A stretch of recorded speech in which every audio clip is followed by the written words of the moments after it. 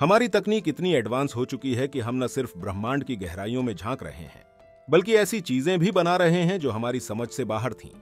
आज इस वीडियो में हम तीन ऐसी अविश्वसनीय खोजों के बारे में जानेंगे, जो हमारे विज्ञान को नई ऊंचाइयों पर ले जा रही हैं। द बिग रिंग ब्रह्मांड का अनोखा रहस्य।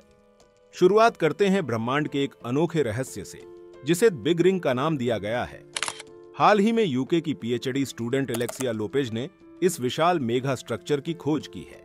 यह संरचना पृथ्वी से लगभग 6.9 बिलियन प्रकाश वर्ष दूर स्थित है और यह इतनी बड़ी है कि इसकी चौड़ाई मापने के लिए हमें लगभग 13000 मिल की वे गैलेक्सीज को एक सीधी लाइन में रखना पड़ेगा। अब सोचिए, इतने विशाल स्ट्रक्चर का हमारी आकाश गंगा से इतनी दूरी पर होना कितना अविश्वसनीय लगता है। हमारे कॉस्मोलॉजी के मौजूदा सिद्धांत के अनुसार ऐसी संरचना का अस्तित्व होना असंभव है। इस सिद्धांत को कॉस्मोलॉजिकल प्रिंसिपल कहा जाता है, जो मानता है कि ब्रह्मांड में हर जगह समानता है। यानी किसी भी बड़े स्केल पर, हम चाहे कहीं भी देखें, चीज़ें लगभग एक जैसी दिखनी चाहिए। लेकिन बिग रिंग का अस्तित्व इस सिद्धांत को चुनौती दे रहा है। इस स्ट्रक्चर का यहाँ होना दर्शाता है कि ब्रह्मांड में ऐसी जगहें भी हैं जो खास हैं, जहाँ पर मैटर या द्रव्य असामान्य रूप से एकत्रित है।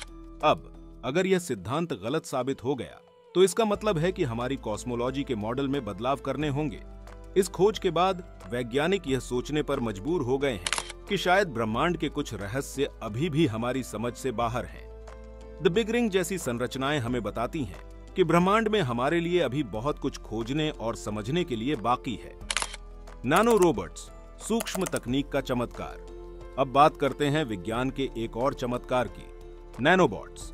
ये छोटे छोटे रोबोट्स, जो एक सूक्ष्म कण जितने छोटे होते हैं, इंसानी शरीर के भीतर जाकर कैंसर जैसी बीमारियों का इलाज करने में मदद कर सकते हैं। सोचिए, यह नैनोबॉट्स हमारे शरीर में कैंसर सेल्स को टारगेट करते हैं और उन्हीं पर हमला करते हैं, बिना किसी स्वस्थ टिश्यू को नुकसान पहुँचाए।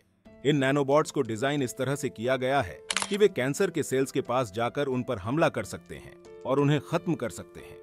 इस तकनीक की मदद से कैंसर ट्रीटमेंट के दौरान होने वाले साइड इफेक्ट्स को भी कम किया जा सकता है। आमतौर पर एंटी कैंसर ड्रग्स पूरे शरीर में फैल जाते हैं, जिससे कई साइड इफेक्ट्स होते हैं, लेकिन नैनोबॉट्स सिर्फ़ टारगेटेड जगह पर ही काम करते हैं, जिससे यह तकनीक ज़्यादा सुरक्षित बन जाती है। आने वाले समय में नैनोबॉट्स सिर्फ़ कैंसर ही नहीं, बल्कि दूसरी बीमारियों में भी बहुत मददगार साबित हो सकते हैं। ये छोटे छोटे रोबोट्स उन जगहों तक पहुँच सकते हैं। जहाँ सामान्य सर्जरी या ट्रीटमेंट नहीं पहुँच सकता। मिनिएचर न्यूक्लियर बैटरीज पावर का नया स्रोत। अब बात करते हैं एक और अद्भुत आविष्कार की, जो है मिनी न्यूक्लियर बैटरियाँ इमेजिन कीजिए कि एक ऐसा फ़ोन जो कभी चार्ज ही न करना पड़े, या एक ऐसी घड़ी जिसका सेल कभी भी न बदलना पड़े। यह हकीकत में मुमकिन हो सकता है, और इसी दिशा में एक नई तकनीक सामने आई है।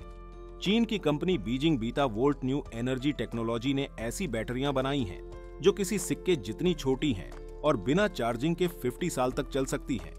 ये बैटरियाँ न्यूक्लियर पावर का इस्तेमाल करती हैं और इनका निर्माण इस तरह से किया गया है कि इन्हें चार्ज करने या मेंटेन करने की ज़रूरत नहीं पड़ती फ़िलहाल, ये बैटरियाँ सिर्फ़ मेडिकल डिवाइसेज और स्पेस्टेक के लिए ही इस्तेमाल की जा रही हैं, लेकिन हो सकता है कि जल्द ही ये हमारे रोज़मर्रा के डिवाइसेज में भी दिखाई दे इससे हमारी रोज़मर्रा की ज़िंदगी में एक बड़ा बदलाव आ सकता है, क्योंकि अब हमें बार बार अपने गैजेट्स को चार्ज करने की ज़रूरत नहीं पड़ेगी विज्ञान के इस नए युग में क्या है भविष्य?